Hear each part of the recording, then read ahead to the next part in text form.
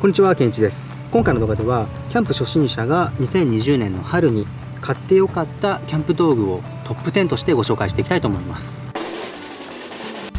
でまず10位はこちらのトランギアのストームクッカー S ウルトラライトになります。でこちらなんですけれども今この専用のケース別売りのものに入っているんですけどこの中を見るとこんな感じでクッカーとあとは調理するものが全て入っているセットになります。で広げてみるとこの蓋がフライパンになっていてであとはこのフライパンとかこういうふうに持つハンドルとであとはこちら別売りなんですけれども同じトランギア製品のケトルが同じように収納できてでさらにあと2つこんな感じのクッカーが入っています。これの特徴としてはこのストームクッカーと呼ばれる名前の通りなんですけれどもこの中にアルコールストーブをセットしてでそれでこういう風にしてでその中にこんな感じで鍋を入れたりあとはこんな感じでケトルを入れるっていう風に使うんですけれどもこういう風に中に入ることによって風を直接受けないからこういうケトルだったりこうクッカーを温めることができるんですよね。で中の五徳が入ってるんですけどこんな感じで開いて上に乗せればフライパンとして使用することもできるというような優れものになっております。でこれにはアルコールストーブもセットで入っていてそれがこんな感じで全てこのストームクッカーの中に収納することができてこんな感じですね。こんな感じでスタッキングできて蓋をしてこの専用のベルトで縛ることによってでこれだけで持ち運びができるのでかなりコンパクトなんだけどこれだけあればほとんどの料理が、まあ、1人2人分ぐらいだったら問題なくできてしまうのでものすごく重宝すると思います。で別売りなんですけどもこちらの専用のトランギアから出ている収納のケースとかもありますのでこういう風にして全てを持ち運ぶことができるのですごくコンパクトに収めることができます。まだ何もクッカーを持ってないよ。だけど何買えばいいかわからないとかっていう方はこれだけあればいいんじゃないかなと思います。でデメリットとしてはアルコールストーブを使うからアルコールを別で持っていかなければいけないからこれに全部クッカーが収まっても燃料は別で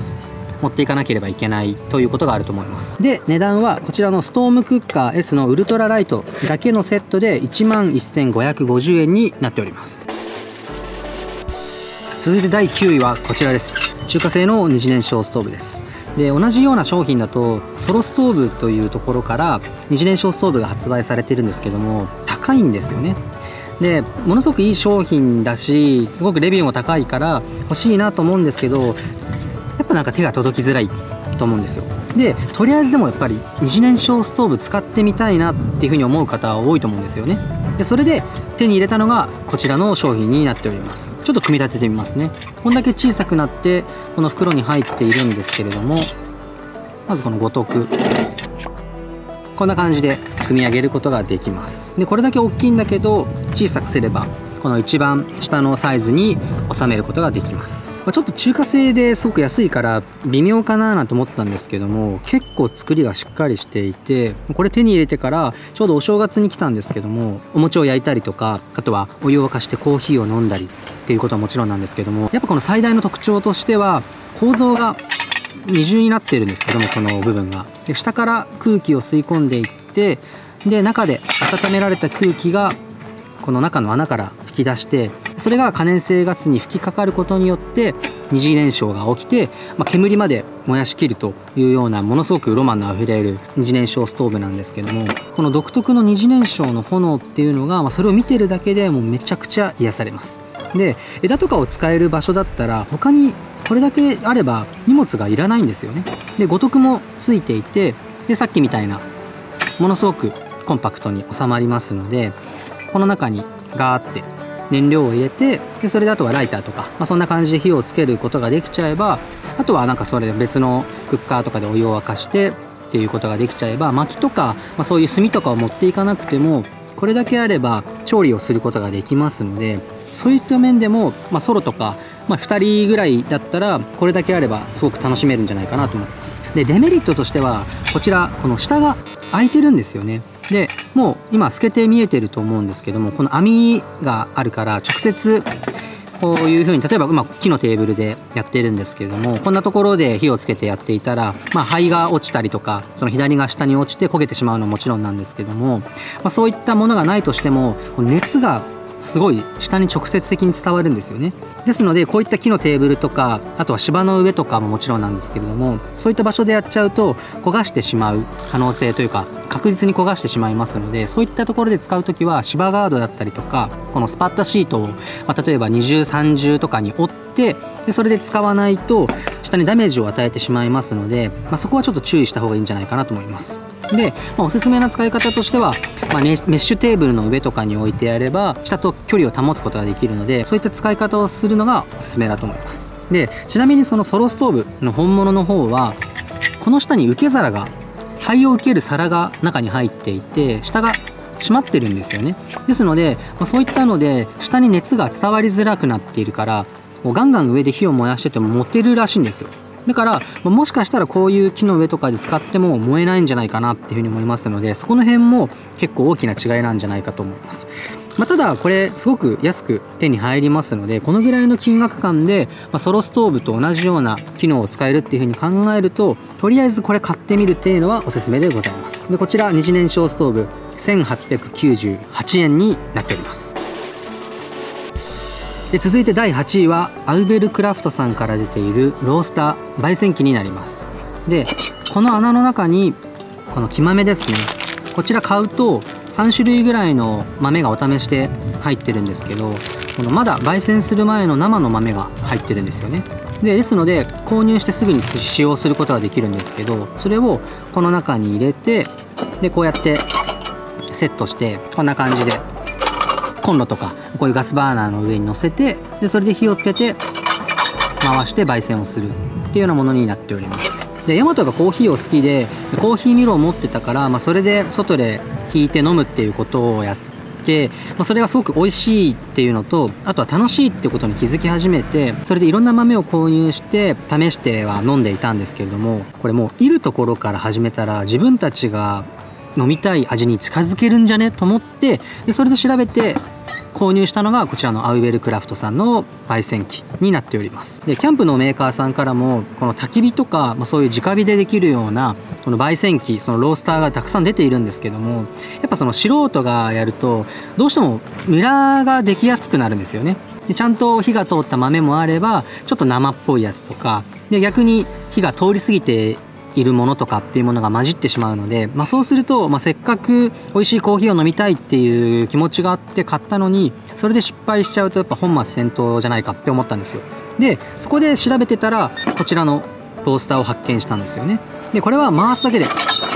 こうやって回していくことによって中にこういうふうに攪拌機が入っているから回すだけで初心者でも簡単に美味しい豆を焙煎することができるという特徴があるからこちらを選ばせていただきました。でこれ結構面倒くさいなと思う方もいると思うんですけどもやってみるとめちゃくちゃ楽しいです。もうくるくる回してるだけなんですけどやっぱこの回してる時の無心になれる感じ。ゼルダの伝説で言うと嵐の歌を吹いてるやつがあの塔の中にいるんですけどそいつだったりとかあとドンキーコングのオープニングのあのおじいちゃんが蓄音機を回してるやつとかをなんかそんなのを思い浮かべながらこれ回すともう楽しいですね。でデメリットはこのガスコンロが必要になってくるっていうのとあとは家でやるんだとしてもそういうコンロその直火の火が出るものがないと使用することができないような特徴があります。であとこの焙煎をしていくことによって茶粉っていう豆の皮が外にバーって出てくるんですよね。どんどんどんどんローストして回していくと。でそうするとあのそれが結構散らかっていろんなとこに飛んでいくから割と周りが汚れるっていうのがあります。でだからといって外でやろうとすると風だったりとか温度の変化でせっかく簡単に焙煎ができるっていう特徴があるのにいきなり難易度が上がっちゃうので、まあ、そういうことを考えると温度が一定な部屋とか、まあ、ちょっと換気をちゃんとできているようなテントの中でやるっていうようなことが必要になってくると思います。掃除が面倒っていうのとあとはそこそこかさばるっていうものもあるんですけども、まあ、とはいえ自分で焙煎して飲むコーヒーっていうのは本当に最高に美味しいので、まあ、それをキャンプでやって飲んだら自分も嬉しいし一緒に行った人に飲んでもらっても本当に喜んでくれるのでそれだけで優勝できます。でこちら1万4200円で購入しました。で続いて第7位はビアレッティ社から出ているモカエキスプレスになっております。でこちら沸騰した水の蒸気でコーヒーを抽出する方式の直火式のエスプレッソメーカーになっております。ちょっと中を見てみます。この3つのパーツで構成されているんですけれどもまずこの中に水を線が入っているのでそこまで入れて次はこちらの方にエスプレッソの豆ですね。深入りの細かい豆を入れてギュッとかやらないでとりあえずこのすり切りまで入れてこっちにセットしてこっちにもこんな感じでプツプツと穴が開いているんですけどもそれをこっちにセットしてこれで完成になっております。で使用する時はこんな感じのコンロとかに乗せてでそれでこっちの外に炎がいかないぐらいの弱火で熱して、ま、そうすると4分とか5分ぐらいしてくるとこの中で沸騰してボコボコボコボコなって蒸気が出るじゃないですか。で蒸気がさっきのあの筒みたいのがあったと思うんですけどあのドラゴンボールのかりんとうみたいなやつですね。それの中の筒を通ってコーヒーを入れた豆のところをその蒸気が通っていってで最終的にこの上に穴が開いてるんですけどもここからエスプレッソがじわじわと出てきて完成するというような装置になっております。でこういった直火式のやつをマキネッタっていうふうに言うらしいんですけどもイタリアの家庭には必ずあると言われているほどポピュラーなものだそうです。でエスプレッソマシンだと結構、まあ、デロンギーさんとかから出てると思うんですけどもいきなりそれを買うっていうのは結構ハードルが高いからエスプレッソを家で作るなんていうのが結構夢のまた夢だと思ってたんですけれどもエスプレッソ好きの高城さんっていうすごくエッチな先輩がいるんですけどもでその高城さんがこのエスプレッソマシン最近使ってるんだよねみたいなので紹介してくれて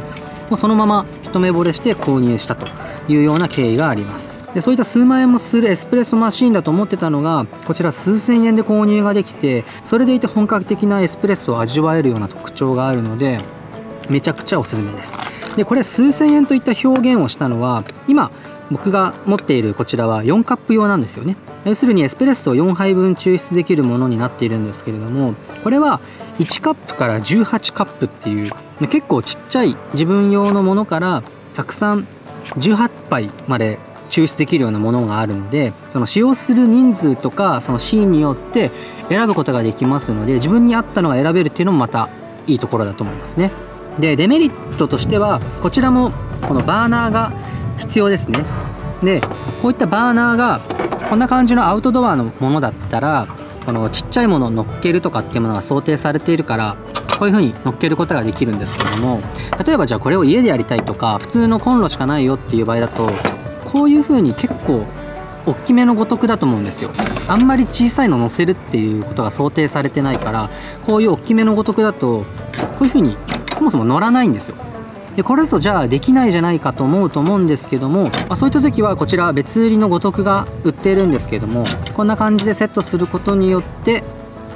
使用することができます、まあ、ですのでちょっと幅が広いコンロしか持ってないよっていう方はこれがまた別で必要になってしまいますのでそこだけご注意していただければと思います。であとはこちら4カップ分なんですけどももう粉の量がこのすり切りで決まっているので大きいものを買うと毎回それをの分この中に入れないとダメなんですよ。でそうすると例えばじゃあ1杯だけ飲みたいのにとかちょっと1人で飲みたいっていう時も必ずこれでやらないとダメなんですよね。でこれを少なくしちゃうとこの中の圧力の関係だったりとかで味がまた変わってきてしまいますのであんまり大人数で飲まないよとかそんなに量がいらないよっていうことが想定できる場合はできる限りちっちゃいのを買う方がいいんじゃないかなと思います、まあ、これでももう1人用とりあえず作ってそれ飲むってこともできると思うんですけどもまあ、エスプレッソの特徴として、まあ、入れてからなんか酸化が進むのが早いらしいんですよね。そうすると味が結構変わってきてしまうとかもあるのでなるべく入れたての美味しいものを飲みたいっていう場合は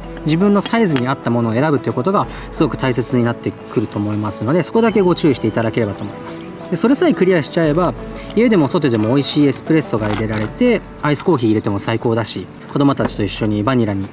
このエスプレッソをかけてアフォガードを楽しむとかっていうものもめちゃくちゃ楽しくておすすめなので是非検討してみてください。でお値段は僕が買ったこちらの4カップ用で3544円で購入いたしました。続いて第6位はキャプテンスタックさんから出ているアルミロールテーブルになっております。ちょっと出してみます。こんな感じの袋に入っていて中は折りたたんであります。でこれを広げていくとこういう風にくっついているので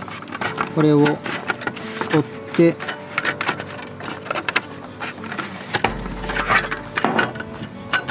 こちらのアルミロールテーブルですね。でこれはもう何といっても安くてコンパクトでそれでいて作りがいいから結構の僕の周りでキャンプやってる人もあみんな例外なく持ってるぐらいもうものすごく人気の商品だしこれ買っておいて間違いないんじゃないかなっていうふうに考えています。で僕地面に直接座ってやるキャンプのスタイルがすごく好きなんですけどもその時の高さでも本当にちょうどいいと思います。サイト内にあってもこの結構マットな質感で、まあ、なんか安っぽくもないんですけども、まあ、そういったので目立たないしでそれでいて機能的ですね。熱いものを直接この上に乗っけるとかっていうものも結構僕やってますね。熱々のスキレット乗っけたりとかあとは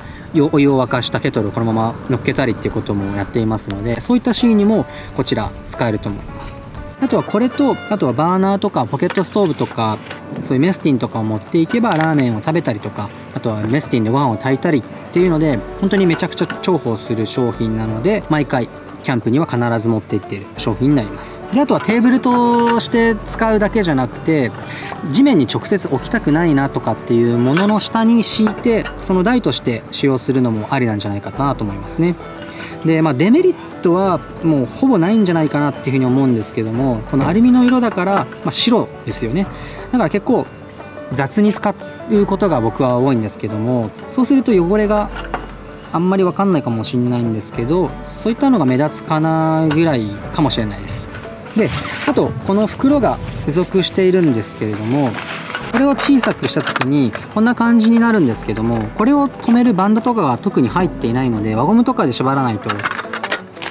ビヨーンって広がっちゃいますね、まあ、そのぐらいだと思います。でこちら1482円。コスパ最強です。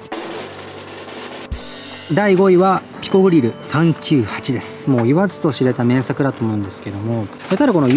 名なだけじゃなくてもう398っていうような商品名なんですけどもめちゃくちゃ軽いです。でそれでいてこのコンパクトな A4 ぐらいの大きさに収まるのでそれもすごく魅力的なんじゃないかなと思います。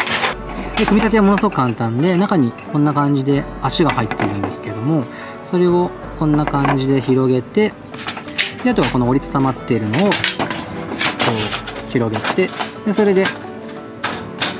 これで完成です。めちゃくちゃ簡単ですよね。で組み立てるのが簡単だから片付けもすごく楽なんですよ。家に帰ってこのサイズ感だからものすごく軽いしそのまま流しで僕はガシャガシャ洗ってでそれで干してしまって次のキャンプに備えているっていうような使い方をしています。でこれのいいところはこの横に広いんですよね。この横の広さがあるから薪をこうなんか割ったりとかあとはノコギリで切ったりしなくてもそのまま使えるサイズ感っていうのがすごく魅力的だと思います。で僕はあの秘密のグリルちゃんっていう DOD のあの焚き火台も持ってるんですけどもそっちもものすごくコンパクトでそれこそポケットに入るようなサイズ感なんですけれどもあっちはサイズがこういう長方形じゃなくて正方形なんですよ。ですので、まあ、ここぐらいまでしかないようなイメージなんですよね、まあ、こんな感じになるとしたらこう斜めに薪をセットしたりとか、まあ、こういう風に置いたとしてもなんかあの収まりが悪いから結構薪がその燃えてガサってなった時に落っこっちゃったりするのが結構嫌だったんですよね。だからあっちはグリルとしてなんか調理専用で使ってたんですけどもこっちはあの両方できると思います。焚き火もできるし別売りなんですけどもこういうスピット串とかっていうのがあってこんな感じで上にこういうのを乗っけるとお得にもなるしあとは直接ウインナーとか刺して焼くこともできるようなものがついています。でここになんか穴が開いてるんですけどもちょうどこのスピットが刺さるんですよ。このスピットを掃除する専用の穴らしいです。でデメリットとしては、まあ、値段が高いっていうことに尽きるんじゃないかなと思います。すごく軽くてでそれでいてこの使い勝手も最高にいいんですけどもこの価格で購入を躊躇する方っていうのは本当に多いんじゃないかななんていうことを、まあ、購入する時に感じましたね。で同じようなこのピコグリルを意識してるっていうんですかね。もう模倣品みたいな偽物もたくさん出ているので、まあ、そういう偽物も選んでしまう人も結構いるんじゃないかなと思うような価格帯になっていると思います。であとはこの上にさっきのスピット串とかあとはこういう網を乗せるっていうことで一応バーベキューみたいな感じの調理もできると思うんですけども風があるとやっぱ流れてっちゃうからなかなか上に乗っけててお湯が沸かないとか上の肉が焼けないっていう現象が結構多々あると思うんですよね。まあ、そういった場合は、まあ、直接直火に乗せられるケトルとかだったらいいと思うんですけどもそれができない場合とかだとなかなか厳しいことがあるかもしれませんで、まあ、そこでおすすめなのがこちらダイソーに売ってるこの昇降式っていうんですか足がこういう風に出てくるような網が100円で売ってるんですけどもこれがこのピコグリルのために販売してるんじゃないかぐらいのサイズ感でもうぴったり。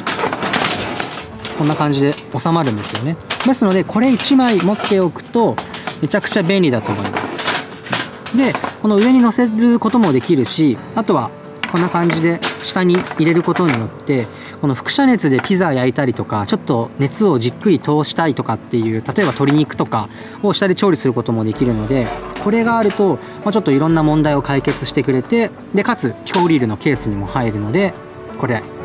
買っといてください。で価格は1万2600円でございます。で続いて第4位はこちらゼンヤーツさんから出ているテントギギでございます。で僕が初めて買ったテントなんですけどもソロ用のテントが欲しくて最初の天幕デザインさんのサーカス TC が欲しかったんですよね。でただそれヤマトくんが持ってるから同じのを持っててもなーっていうのとあとはもともとは結構低価格ですごく品質がいいっていうのが魅力だったんですけども転売する人が増えたのかな。あとは単純にものすごく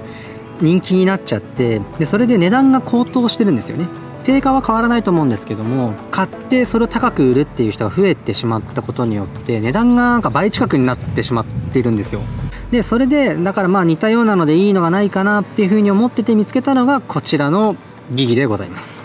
でワンポールがベースとなっているんですけどもこの両サイドもミニポールで上がっているから居住スペースが結構広くなっていてで大人2人でも問題なく使用できるしあとは今までにないフォルムですごくかっこいいんじゃないかなっていうふうに思います。で僕は娘2人とあとは妻の4人家族なんですけども子供たちがまだ小さいのでこのサイズ感でも十分な広さがあるから家族用のテントとして使用するっていうのも十分可能じゃないかと思います。で素材はポリエステルで総重量が 4.5kg なので結構大きめのサイズだなっていうふうにあの実際に貼ってみると思うんですけどもそれなのに相当軽いですね。であとはその別でポールを持っていれば前を開けて跳ね上げることによって前室っぽくできるんですよね。それがタープの代わりになるしで広げた時の前の開放感も一気に広がるのでこのチャック全開で散歩した時よりも開放感があると思います。デメリットは形が複雑になっているのでペグダウンする場所が多いところが挙げられると思います。であとはスカートがないんですよね。スカートっていうのはテントの一番下がこの地面につくかつかないかの場所があると思うんですけどもそこにあるひらひらのことなんですけどもこのギギの場合はそれがないんですよね。それがないから結構隙間風が半端じゃなく入ってきます。なので冬場の風が強い日とかだとちょっと寒いんじゃないかっていうふうに考えられます。使用する季節としては春とか夏とか秋だったら快適に過ごせるんじゃないかなっていうふうに思いますね。であとはポリエステルで軽いっていうふうに言ってもこのポールも入ってるしやっぱサイズ感がそこそこだから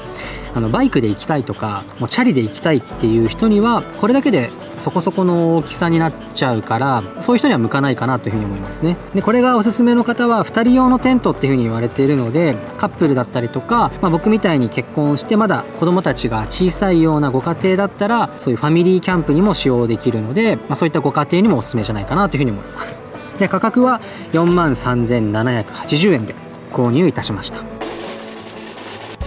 で第3位はトランギアのケトルです。こちら毎回使っていると言っても過言ではないぐらいのお気に入りの商品になっております。でトランギアといえば、まあ、さっき10位でご紹介させていただいたストームクッカーももちろんなんですけどもメスティンが有名だと思うんですよね。トランギアだとそういうアルミ商品が結構有名であのみんな使ってると思うんですけれども、まあ、そういったものとの関連性だったりとかそういうストストームクッカーの中にこのままスタッキングすることができてでさらにこの中にも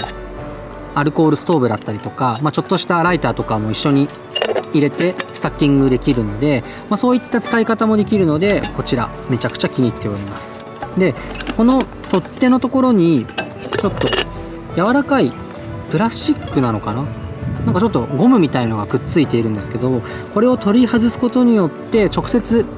もうゴーゴーと燃える火にかけたりとか、まあ、直火に乗せたとしてもこれをなんか溶かしたり燃やしたりすることがなく使用することができますね、まあ、ただその分ここが熱くなるから手袋をしないとダメにはなるんですけどもそういう使い方もできます。でこの取っ手のカバーをつけておけば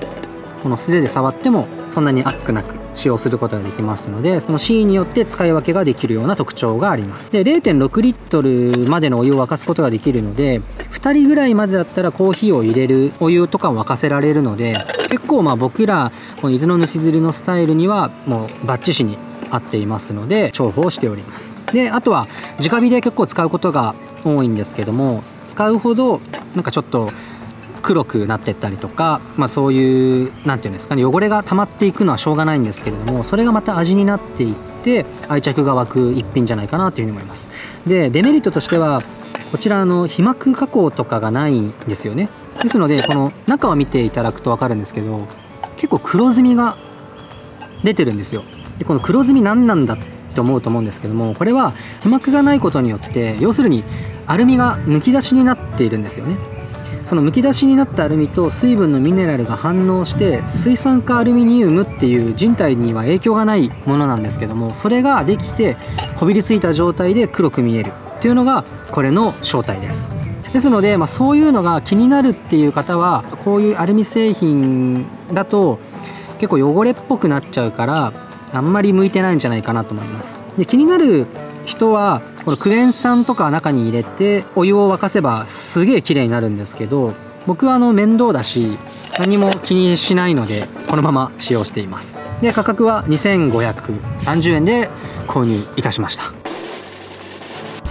で続いて第2位はテオゴニアの炭ばさみになっております。でまず見た目がかっこいいっていうだけでこれを選んだんですけれどもそれでいて慣れてくれば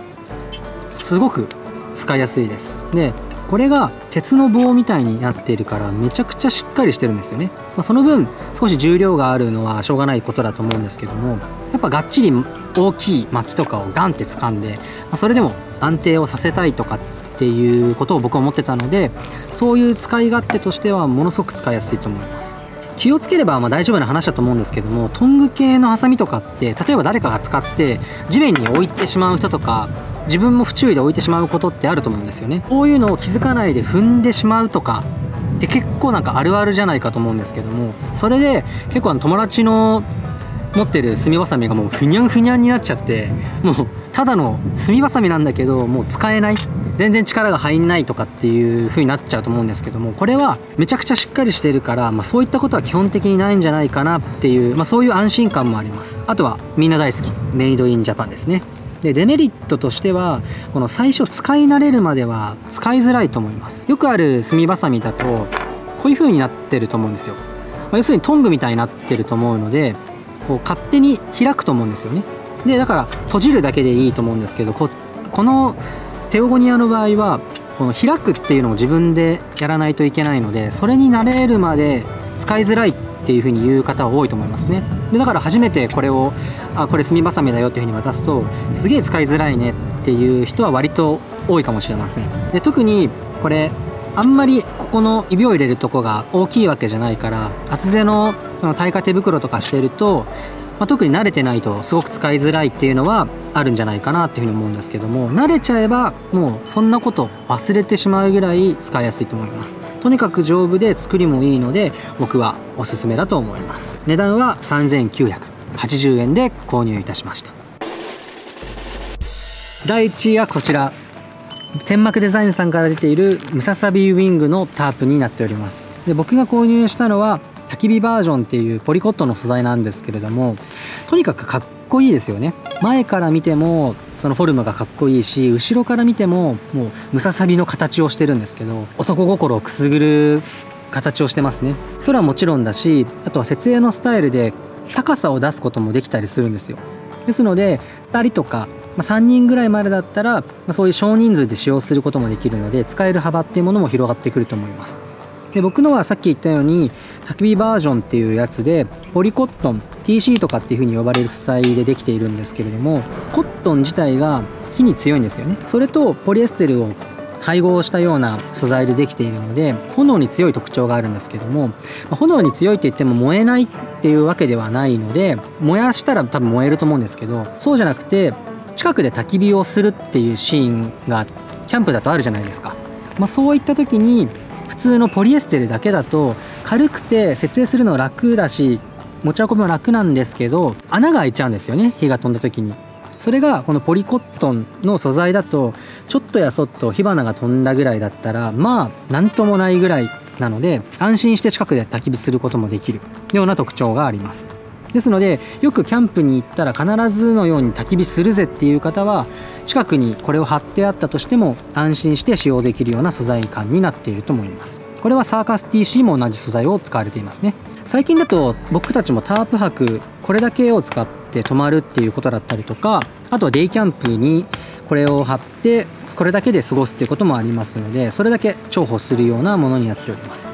で吹き込んでくるような雨の日はさすがにそのキャンプ自体が無理だと思うんですけどもちょっとぐらいの小雨とかだったらガンガン弾いてくれるので中に染み込んできて垂れてくるとかっていうものはないのでそういったシーンでも使えるんじゃないかなと思います。であとはキャンプだけじゃなくてバーベキューとか夏にすると思うんですけどもそういった時に日陰を作れるっていうだけでもすごく快適になるので例えばその家族でやってるとかっていう時に子供がその下で休む時にも使えるのでこういったものを1個持ってるとこれだけのサイズ感で小さくまとめることができるのですごく役に立つんじゃないかなと思います。で設営自体も慣れてくれば10分もかからないで楽にできるのでその辺も気に入っている点になっていますね。でデメリットに関しては、まあ、正直あまり思い浮かばないんですけども上げるとすればこの若干収納袋がダサいぐらいですね、まあ、見慣れてきたのであの僕何とも思ってなかったんですけどヤマトにこれなんかデメリットあるかなって聞いたらうーん袋がダサいぐらいかなみたいな。まそんな感じでした。だから、まあ、その辺とか変えちゃえば気にならないし、まあ、そもそも僕は気にしてないんで今でも使っているので、まあ、デメリットを無理やり上げるんだとしたらそのぐらいかなと思いますね。であとはま注意点としてはこの中にロープは入っているんですけどもポールとかペグっていうのは別売りになっています。まあ、どのタープも最近だとほとんどそうかもしれないんですけれども一応これだけ買ってもあの立てられないのでそれだけ注意していただければなというふうに思いますね。このムササビウィングは今回僕が買ったのはポリコットンなんですけどポリエステルだけの生地ですごく軽いやつまあ登山に持っていけるようなやつなんですかね。そういったやつとかコットンだけを使用したバージョンもあったりしますのでそのシーンとか自分の好みによって使い分けをできるっていうのもすごく選択肢が広がっていくので個性を出せる一つの点じゃないかなっていうふうに思います。で先ほどご紹介した通りこの最近はムササビだけで野営するっていうことも出てきてるんですけどもポールを持ってくのがめんどくせえっていうことを思うようになってきたんですよ。そういった時に山とか野営をする時だと結構落っこってるんですよね。長い木の枝が。そういったのを使ってポールの代わりにしてでちょっと先っちょだけ穴に入るようにしてそれで立てて使用するっていうこともありますので、まあ、そういう楽しみ方もこのムササビウィングで実現できているのでものすごく気に入っているタープになります。でまだタープを持っていない方は本当に素晴らしい商品なので是非そのタープを購入する候補としてその中に入れてみていただければと思います。で価格は1万8480円で購入いたしました。今回ご紹介させていただいた商品に関しましては概要欄にリンクを貼ってありますので気になる方は是非チェックしてみてください。それでは最後までご視聴いただきましてありがとうございました。